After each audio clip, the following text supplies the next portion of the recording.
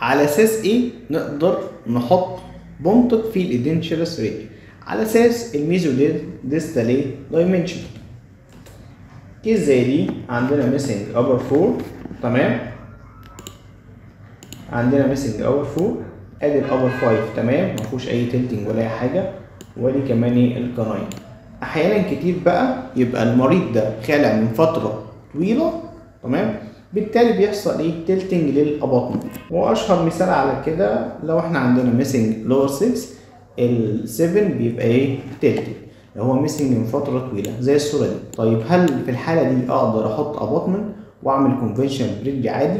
ولا هحتاج ل ortho يعمل لي uprighting لل lower 7 ده؟ تمام. درجة ال tilting عندنا accepted maximum 24 درجة. طيب هتقول لي اقيسها إزاي؟ بسيطة جدا هتجيب المنقلة تمام؟ وتقيس إيه؟ على ال cast طيب لو أكتر عن كده لا لو أكتر عن كده بتبعت الحالة دي لتقويم عشان يعمل لك uprighting لل case